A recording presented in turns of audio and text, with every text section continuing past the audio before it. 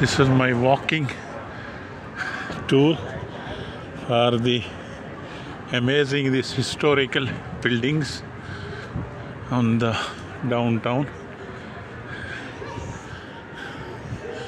Most of people they just going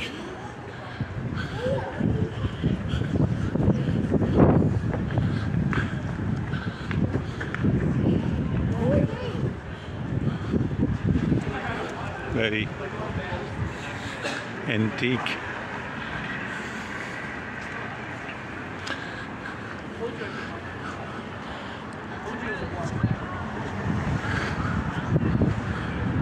Amazing.